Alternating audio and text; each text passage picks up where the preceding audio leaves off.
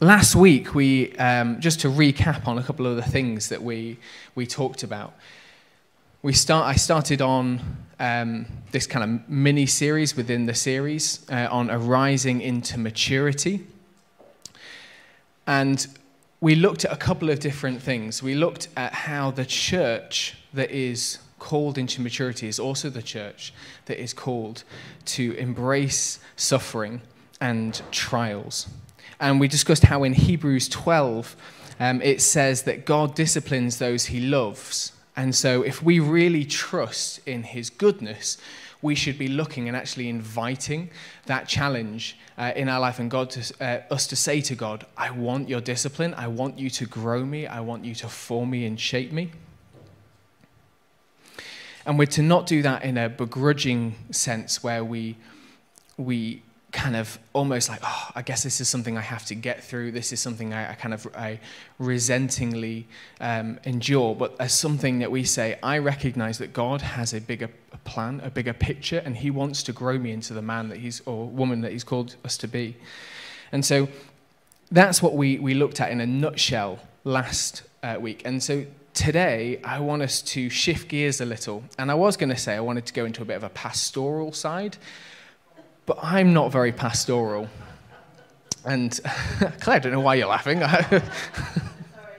uh, and to those who know me, yeah, those who know me will know that I, I pastorally, uh, it's not my gifting, not my calling.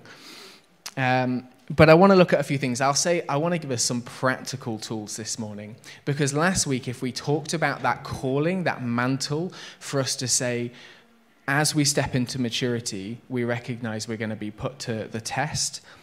Um, rightly, a lot of people kind of anticipated what I was going to talk on this week, which is they said, "I've been in a lot of tests, like, and I, am you know, I'm still walking through those things." Uh, and actually, I want to give us some tools on how to discern that. So we're going to look at a couple of things. The first is if you're going through something, one of the key questions that you'll probably be asking is how do I know whether this is the discipline of the Lord or an attack of the enemy? Because depending on what it is, also depend like it decides how we approach that. Because if there's something that is a, a, an attack on our lives, then we deal with it very differently to how we would walk through something that we know the Lord is testing us on and, and trying to give us character on. And so we want to look at how we discern the difference, and then we're going to look at actually how we walk through that full stop. So, how we walk through trials. Because one of the things as well that we, uh, I want to cover is that sometimes we get stuck in cycles of trials. I don't know if you've noticed this, but I've spoken uh, over the past couple of years of, of ministry, I've spoken to so many people where they seem to be stuck in this never ending cycle of trials. And sometimes it's just one different thing after another. And they, they describe it as like they can barely like swim and catch their breath, they can barely grasp air, and it just seems to be something else that then hits them. And then other occasions, there seems to be things where people are walking through the same thing over and over again. And I want to hopefully just explore and unlock of some of why that might be. So, for those with Bibles, um, I invite you to turn to John 10:10. 10, 10. um, we'll look at that in uh, a few minutes. And the first thing I want us to do when we're contemplating this question of um, is this an attack or an opportunity for discipline, is we have to remove our own expectations of what is in our best interest. So, for those with Bibles, John 10:10. 10, 10. Years ago, um, when I was straight out of Bible college and I was in the, my, my first job, um, there was no doubt in my mind that I was where God had called me to be. And for all the challenges of the job that I had, it had a lot of job satisfaction, and I felt very fulfilled in it. And I was in it for about five years or so, and um, in that time, Rebecca had and I had our first two sons, Ezra and Solomon. And let me just paint you the picture of my walk with God at that point, because this is, you'll see why this is pertinent. So at that time, all the time while I was in that job, I'd get up at 5.30 in the morning, I'd spend time reading the scriptures, and then I had a long list of people who I was just praying and interceding for. Um, I'd spend quality time praying in tongues. And then when I'd go to work, I actively saw it as my opportunity, my mission field to bring revival to that place. Because I was like, if God's put me here, then I'm to be his light. And so I spent my time praying for people, witnessing, and um, praying for healing. I saw people come to the Lord in that time from those who I was working with. Um, I saw people healed.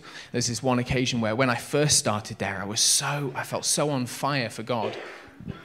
Um, I used to, I don't think I was meant to, but who cares?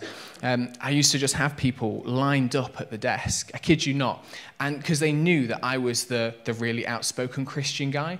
And I just wanted to tell them about Jesus and the fact that he wasn't something that uh, someone where they had to be perfect to approach a church. And so they, they would come, and, and I remember one time this guy saying, describing how he'd been stabbed through the hand um, as a child because his dad had a temper and he'd always had like a, a shake in it the whole time.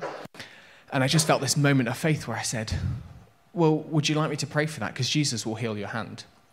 And um, we prayed, and right as we were praying, his hand just becomes absolutely calm. And he's freaking out. I'm like, Oh my goodness, I can't believe you, you how that did that. And I said, No, it's not, not me. This is Jesus. And we ended up, um, uh, led him to the Lord. And, and so I was in a place where I was like, God, I want to see the harvest.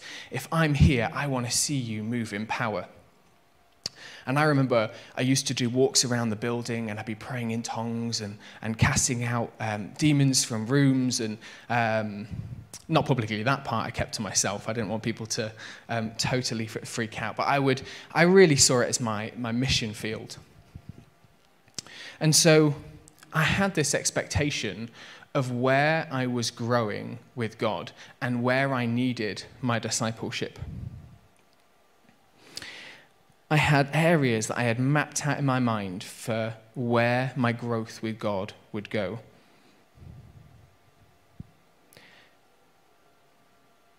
And then things started to get difficult. I, Rebecca had given up her job, um, as we'd had two kids at this point. And we, she felt that God had said, stay at home, be a full time mum. I was the father. I was like, I'm going to, I'm working hard. That's what God's called me to do. I'm going to bring home the money. I'll support us. We ended up buying a house uh, and moving to this community because we wanted to be rooted with this church.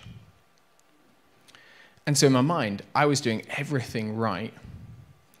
And then the challenges started to come because things started to break in my house.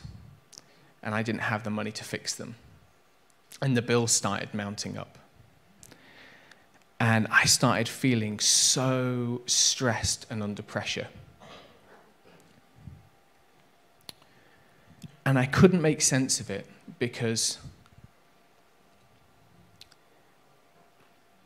in my mind, I was doing everything that I should be doing. I was praying regularly, I was delving into the Word, spending time with God. My family structure was one that I wanted to honor God and represent that. I was like working to, I'm, I'm not expecting, you know, anything in return. I'm just wanting to, to get what I earn and I want to be able to make my own way. And yeah, I still wasn't like covering bills every month and it was causing me an awful lot of stress.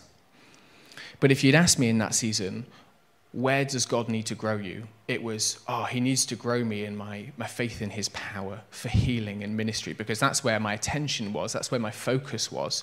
So I had identified where God could shape me, God could disciple me, and it wasn't in my home life, it wasn't in my finances.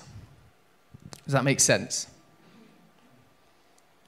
So the financial pressure starts to creep up, and despite the fact of working long hours, I was still just not making ends meet. So, from my perspective, again, let's just remember I had made myself the arbitrator of my own discipleship. So that means I decided what things I was proficient on and where my areas for growth were.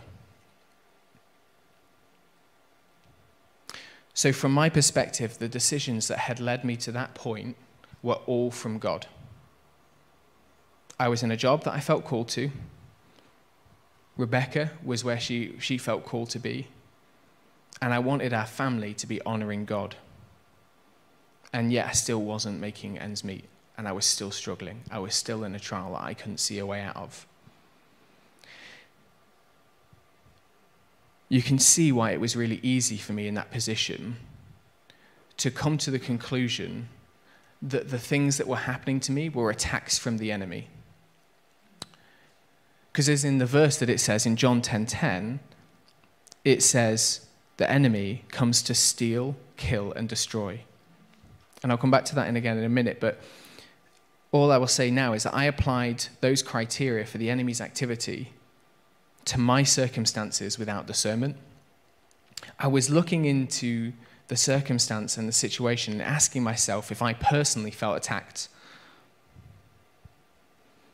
And in doing so, I placed myself, all my internal worldview, my behaviors, my character, as the bar standard for divine intervention. Because surely God would not put me through a situation that, in my own judgment, nothing good could come from. In that given situation, it was easy to see how the enemy was trying to steal and destroy my ability to provide financially for my family. And from my perspective, that was the only thing I could see because I'd looked at my life and how I handled finances. I tithed, I worked hard, I provided for my family, and I was I determined that I was doing okay and I didn't need to grow in that area. So what I was facing, I reasoned, must be from the enemy. Sometimes, though, what God does in your life to build you up will have to start with tearing stuff down. And to the undiscerning, it will feel more like death and destruction because it hurts. 2 Corinthians 10 says, The weapons of our warfare are not of the flesh, but divinely powerful for the destruction of fortresses. We are destroying speculations and every lofty thing raised up against the knowledge of God, and we are taking cap- thought, uh, every thought captive to the obedience of Christ, is what it says. It's Christians who are the subject of that verse. Paul says, We are taking every thought captive. And so when we talk about um, that verse and destroying strongholds, the first place we need to look is actually for where they're located, is it within our own life? And we need to look to Jesus to show where those are in that season for me, despite having all my stuff supposedly in order, the discipline of the Lord was on me to break the strongholds, systems, expectations down in my life so that He could rebuild it with something that would enable me to bear more fruit.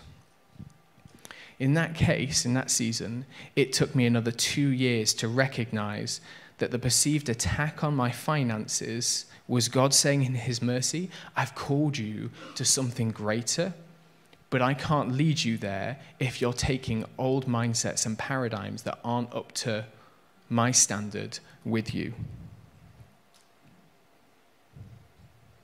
Even though I hadn't judged that to be an area where I needed work.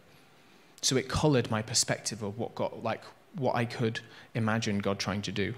So back to my point if you're trying to discern a situation, whether a situation is an attack from the enemy or not, don't look to whether it is painful or destructive, because sometimes God is looking at things in our life that we think we have got together. And He's saying, I need to break that down so I can build something back up. Let me explain it slightly differently. Um, uh, a couple of months ago, I went with my family to Clumber Park. Has anyone ever been to, to Clumber Park in, in Nottinghamshire? Beautiful place. I love going there. And on this particular day, it was kind of on and off rain. And so we took shelter in um, these beautiful greenhouses that are in this walled garden. And we're walking through. And the thing about a greenhouse is they are designed to produce abundance. So you choose what soil you put in a greenhouse. Yeah? You can choose the, the nature, the, the different levels that you want in it. You can add stuff to it totally uninterfered by the outside world. You can choose how much water it gets.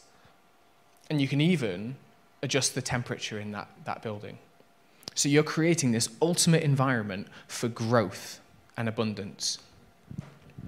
And as I was going through, they had these beautiful grapevines that were growing up the inside of the greenhouse.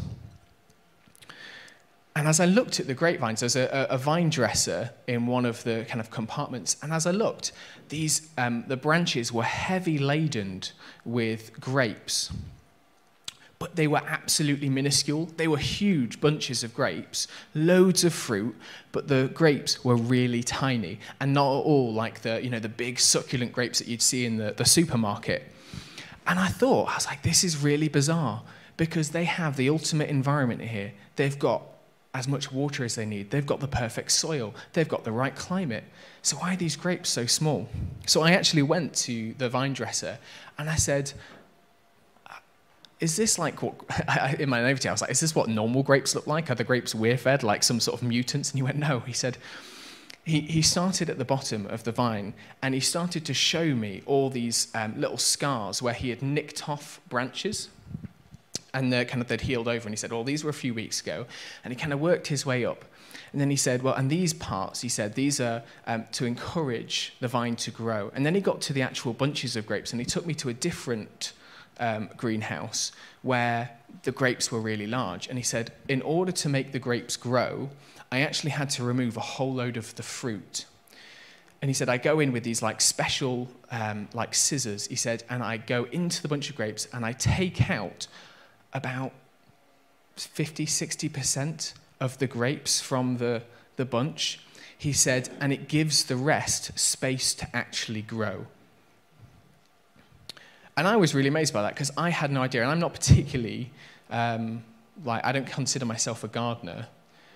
But in my mind, pruning was something you did to branches, leaves, and life that was kind of dead or it was decaying. So it was like, oh, that doesn't look like it's healthy. I'll cut that off. I never imagined you would do it to perfectly healthy fruit, or at least what I perceived as perfectly healthy fruit. Do you remember last week when I said that good teaching, worship, and fellowship were not the markers of a mature church? If you're looking at maturity by just what you're consuming, even though those things are critically important, then you will grow, but you won't reach maturity. Those vines had everything externally that they could possibly have needed. And they would never have reached maturity without the intervention of someone actually going in and removing something that, from my perspective, was perfectly healthy. If you had asked me how to get those grapes growing, I'd have been immediately looking to all the external things.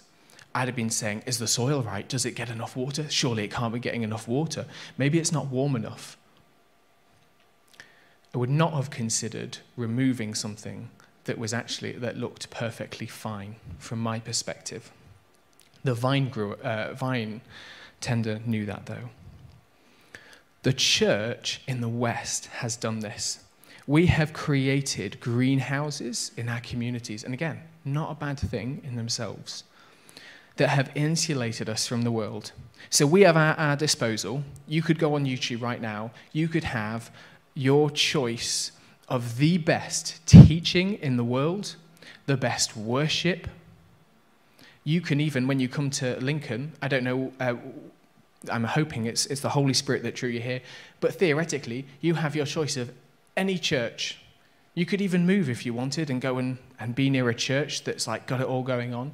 You could surround yourselves with all the things that you draw in, but it will not equal maturity.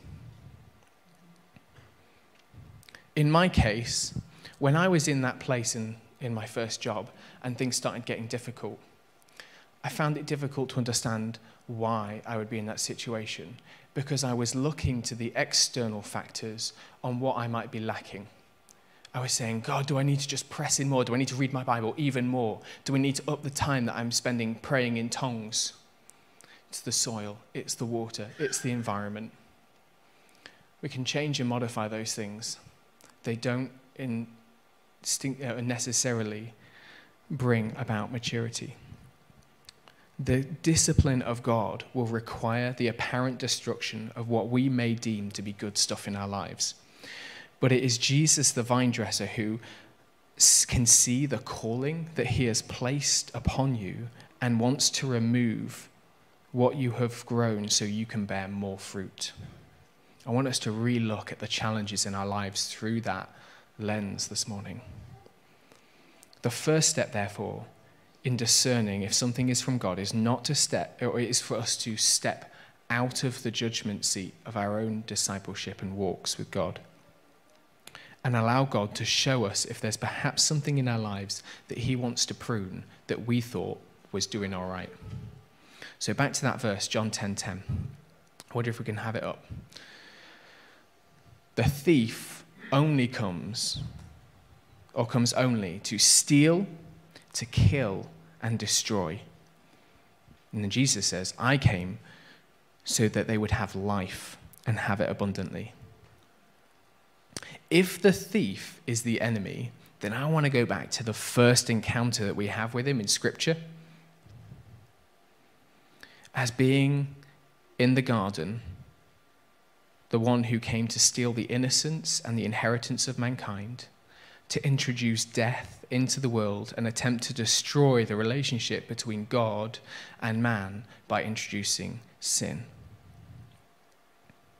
The enemy's calling card is sin and its consequences. We know that God can tear down, but it is always to build up. And whilst it can be painful, it will never be brought about through sin. The wages of sin are death. And the fallen and broken world we live in is as a result of what we call the fall. So after Adam and Eve sin, sin comes in and wreaks havoc in the world and introduces things that did not previously exist. So, whilst I want to apply the following rule with caution, as I honestly believe that God will use any situation to grow us and to bring us to maturity, He can use anything. As a general rule, circumstances and situations that flow from sin and the fall are not from God. God, who is the creator and sustainer of life, and who by his own carnation in Jesus demonstrated that he comes into the world to heal, did therefore not inflict life threatening diseases and situations upon you. Can a person be drawn closer to God and learn stuff in a season when they're battling a medical condition? Absolutely. Of course he can. Did God put that on them to learn something? Absolutely not. It's really important as we move forward um, with, as we grow into maturity as a church. I've seen so many times where those things, that wanting to embrace the goodness of God and what He can do, leads us to an almost fatalistic uh, approach where everything that happens to us is, it must be the will of God. God did not create cancer. God did not create disease to take life. One of the reasons why we say it's so crucially important to be embedded in the Word, to know the Word of God, is because it reveals the character of God. How many times when, you know, when you hear um, like malicious gossip or things that are said about people, do you know the best way to stop that is by actually knowing the person? So, you know, as a, a church leader, I, I meet with other church leaders and uh, I get to know them. And I, I have a particular friend who's in a nearby church. And you hear stuff all the time from Christians who carry wounding and hurt. And they'll say, oh, such and such did that. And I'll say, no, he didn't. I don't have to be there because I know that it's not in their character. I know that I know them. And so I know they wouldn't do that. The importance of knowing your scripture is it allows us to know the Creator and His character to discern what is and isn't of Him. When we look at the trials that we face, we have to understand the nature and the character of God so that we can discern whether something is from God or not. But I am saying now for us as a church, I do not believe that God sends those uh, life threatening, life limiting sicknesses and, uh, or, or death on people. And so those are examples where the church is called to, to step into the authority that it has by the blood of Jesus and say, We are a kingdom people and we are called to actively reverse the effects of the fall in the world. We are the light in the world. I think on a practical level, one of the reasons it's so important to be rooted in community as well is because sometimes the best clarity and perspective we can get on a situation is from those who are walking the journey around us. So, this is just a, real practical tip. People who come alongside us and speak not from the flesh, but from the spirit to discern if something is it's something that can bring life or whether it's something the enemy has created to harm you or, in, as is often the case, whether something is simply the consequences of our own sin.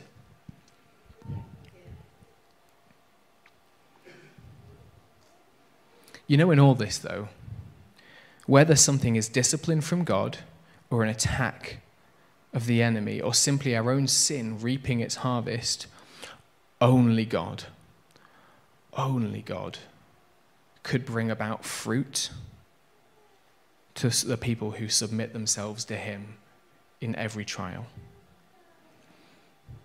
The next thing I want us to turn to is uh, Psalm 100, uh, sorry, not 157, um, 57, verses 1, uh, sorry, 4 to 9. I got each part of that wrong in turn. I didn't even say one part of that right. Psalm 57, verses 4 to 9, and we have that up on the, the screen. So, just as we're finding that, the context of this verse is this David, before he's king, he is, um, has been anointed by the prophet Samuel, and Samuel has prophesied over him and said, You are going to be the next king of Israel. He then rises to prominence in Israel. He slays Goliath. He becomes a mighty war hero. He has favor with almost all of Israel. And suddenly, the existing king, King Saul, who's lost his anointing, God says, I've taken my spirit from him, turns against him, and then actively is pursuing his life. So when David is writing this psalm, he is being chased for something that he didn't do. It's kind of starting to sound like the, um, the A team. Um, you know, he's like, he's pursued for something that he, he didn't do, uh, for crimes he didn't commit. And um, and he's in a lot of turmoil because the injustice from his point of view is like this my, the king, who I thought is my friend, is pursuing my life, someone clo- the closest to me, and I am in peril.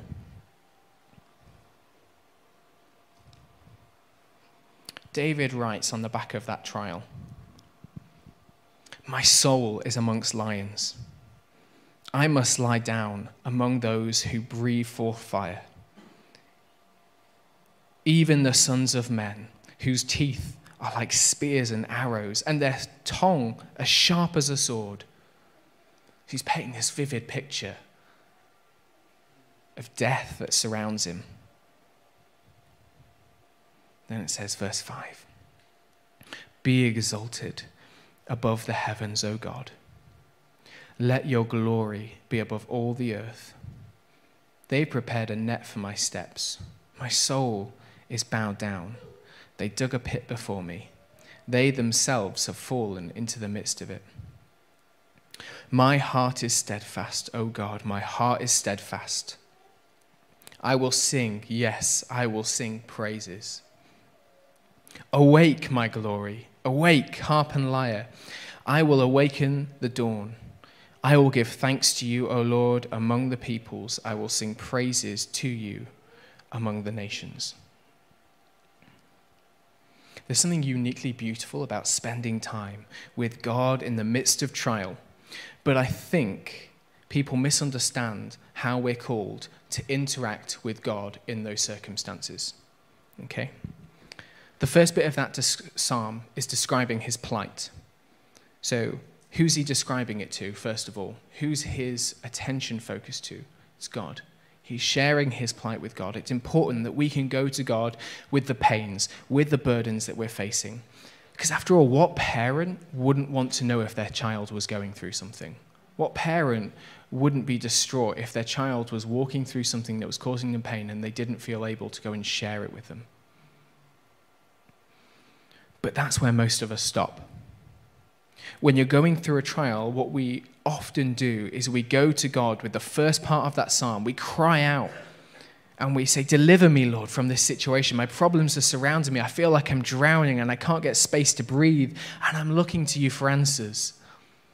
How many of us have done that? I have the amount of times where I have called out to God and said, God, I, am, I'm just in this desperate place. I need you to come and rescue me. And when you're going into a situation, how many times have you heard this phrase where people say, you just need to press into God more? Or here's the real, here's the real gem. Have you prayed about it? and you're like, oh, it's funny that. I, just, I hadn't thought of that as a, as a Christian. But and you're banging your head against a brick wall because you've been taking the same issue to God day after day, seeking Him for answers and spending time in His presence, but you don't feel any lighter. You don't feel that peace that passes understanding that you've heard spoken about.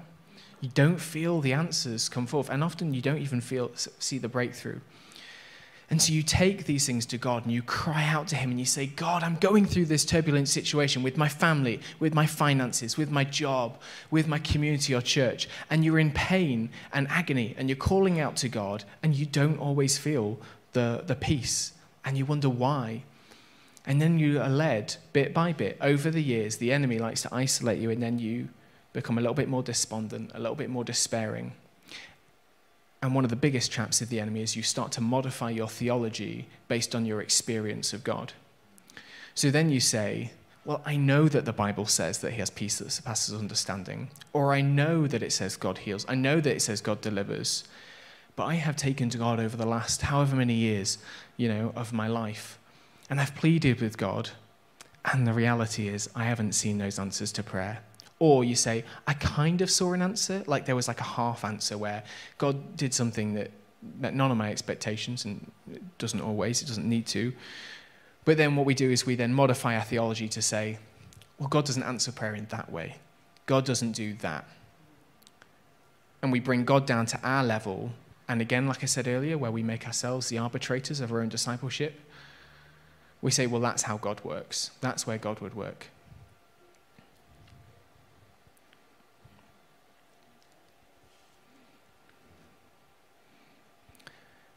David takes his complaint, his trial, and his pain to the Lord, but he does not stop there. If we can get those verses up, we've got them broken down into two sections the first and the, the latter bit, so uh, verse 4 and then verse 5 onwards.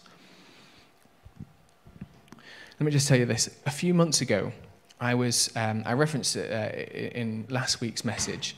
I was walking through um, this season of my life where God had spoken words to me about something he was telling me to do.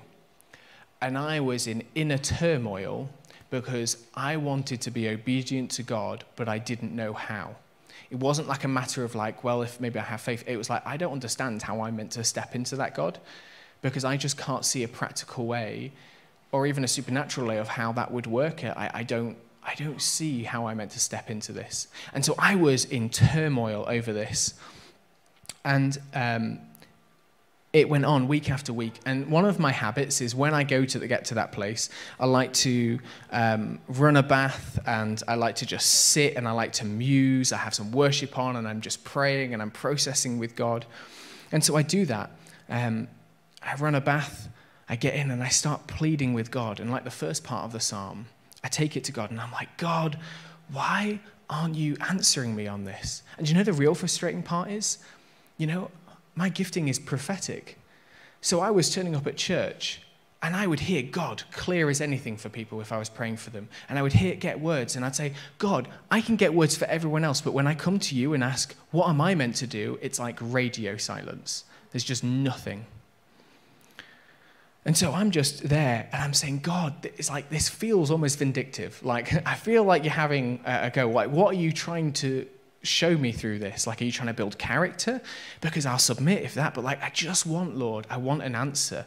I want you to tell me what I'm meant to do so I can be obedient. So I was going to God with the issue. I wanted His voice on it, I wanted His solution so I could be obedient to Him. And so in my frustration, I just slumped back and I said, I, I don't know, God, I can't, I give up. I just can't hear your voice on this matter. Like, what am I doing wrong? And I heard the Holy Spirit speak to me, and he said this. He said, John, the moment you allow an issue to become the primary focus of your prayer life, you've made it an idol. You see, even though I was going to God for, to talk about this issue, past that issue was God because I had elevated that issue. I was going to going to God for the answer to my issue, and I had elevated it above His place. And He says, I'm not going to answer you based on that. So, two things happened in that. The first is that I realized my perspective was all warped because the moment I'm only taking a singular issue to God day after day and pleading it before Him, I realize that it has gained a bigger perspective than it should have. Because when you think of how vast and how great God is, how can any other situation even come close to holding that level of attention in our lives? So the first thing God showed me was your perspective is way off. The second thing He showed me, and this is how it links into the psalm, is that in that situation, I repented and I was like, God, I'm sorry, I had no idea it would become an idol. In my zeal, I was chasing after you. I wanted to be obedient to you, and I realized that I've elevated this issue that's in my life to become an idol. And I, and I repented and I said, What am I meant to do? What do I do? And he said, Just worship me. Just give me the glory.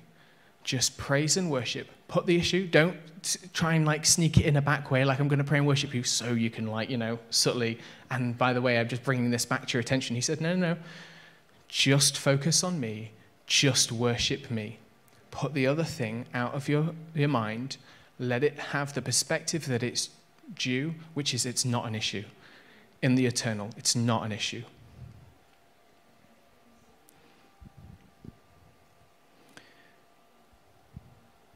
When David writes the psalm, he opens with his cry for help and lays his pain before God. But that's not the sum of his prayer because he continues. Can we have that second part of the verse, verse 5 onwards? So he started with his plight, and then he says this My heart, oh, it's, no, sorry. He says, Be exalted above the heavens, God. May your glory be above all the earth.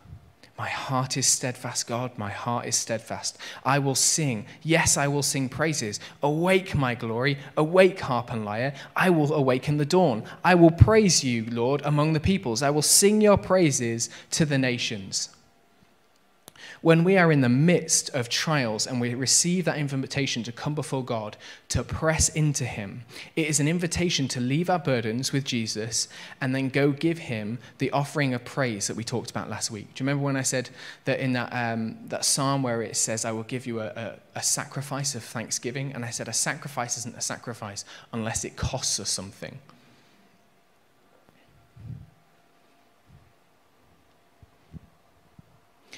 It is in that process of coming before Him, not to give, not for Him to give us the answers to our priorities, but to address the priorities themselves by putting everything else to one side and choosing to worship and praise because of the circumstances.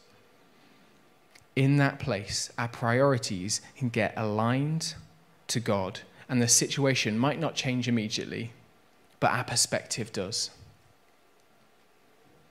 It makes us open to being teachable from the Holy Spirit and removes the spiritual blinder that we place on ourselves when we get tunnel vision from focusing on our issue.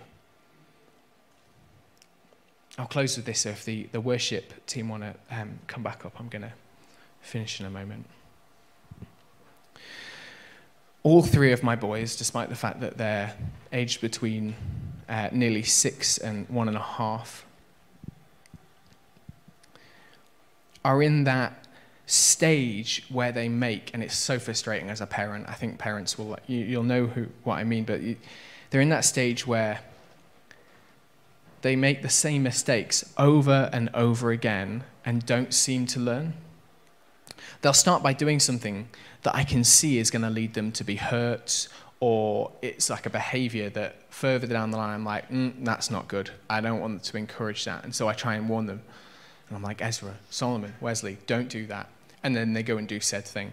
And usually the only thing that actually gets them to listen is when they feel the consequences keenly of their own actions. Um, you know, we, we had to rearrange our whole living room the other day. I came back from lunch um, and Rebecca had just totally moved everything. And I said, um, why? and Wesley, no matter how many times we took him down, was determined to climb on the absolute furthest point of the sofa at an angle to reach the light switch. And it just did not matter how many times we took him down. I was like, no, Wesley. He was like tr- straight back up that sofa, leaning precariously, and you know, trying not to, to freak out, uh, like so he doesn't fall. But he won't listen. And in his case, he's a baby. So we kind of we, we take that for granted. But the thing is, children at the time of you telling them that, their focus is so honed in on what they want, it's so tunnel visioned on their, their goal, they can't hear anything else that you're saying. I'm pretty sure that when I speak to Ezra and Solomon, it's like just in one ear, out another. They have no regard for what I'm saying. Even if I'm trying to dispense wisdom that's going to help them in the long run, they don't care. Until the consequences of their actions become so severe. And I think Sometimes, when we as Christians get caught in that cycle of trials, one of the reasons why we have to step back is to see what God might be trying to say through it. Because sometimes our own behaviors, our character, or our systems that we've built up in our own life are actually harming us. And so we're caught in the same spiral over and over again. And we're like, God, why are you letting this happen? And God's like, if you took a step back if you just worship me and allow me to show you what my priorities are in this moment, you might see that I'm trying to take stuff away so that you can be more fruitful. One of the challenges for us as we step and arise into maturity um, is that we are called to bring our attention and our focus back onto the Father. Not so he can give us the answers that we're so keen to get, but so we can worship him rightly and see his perfection highlight the areas of our lives that maybe we need to deal with. The call to arise into maturity flows from one of our statements. I wonder if we could have that up. It's the, um, it says this We arise when we submit ourselves to the leadership of the Holy Spirit in all things, choosing to go where He leads, preferring the comfort of His presence over the safety of our own understanding. What we've talked about this morning is that. What does it mean to submit yourself to the Holy Spirit in worship, in teaching, in your job, in your adult life? Perhaps I overuse this statement because I'm def- I've definitely used it over a couple of different sermons, but I, I, um, I really love this phrase. And I remind us that God gave us the Holy Spirit, who is called the Comforter, because he fully anticipates that he's going to send us into situations that are uncomfortable and require a comforter. So often, I think we as a church, we like to we have the Holy Spirit, we don't allow him to do our job or his job because we go into situations that are uncomfortable and we're like, oh, I don't like this. And the Holy Spirit's like, that's why I was here. Jesus said, it's better that I go so that I can send the helper. We are designed to be made uncomfortable as we put to death the flesh so we can live in Christ. And the Holy Spirit comes in as the power of God to give us the grace to endure. I want to just invite you to stand as we go back into worship, and I just want to pray for us.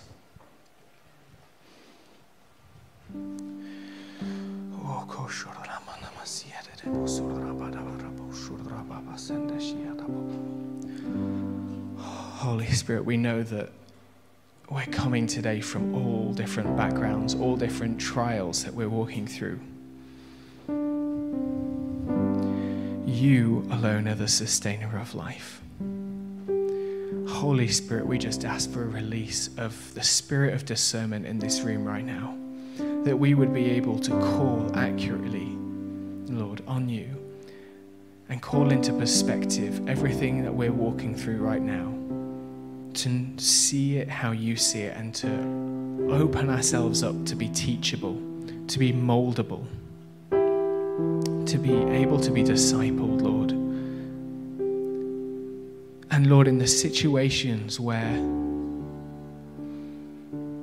you are trying to teach us something that might be painful, Holy Spirit, we ask, we invite the Comforter in right now.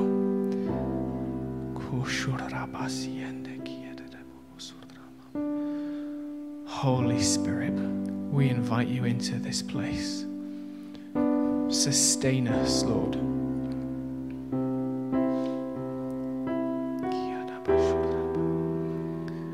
So, Lord, as we go back into worship, to worship you, we place all those issues that we're facing. Give us the strength and the courage to lay them to one side and say, Lord, we will not elevate them to be idols in our life, but we will submit completely to you and choose to give you an offering of thanksgiving and worship.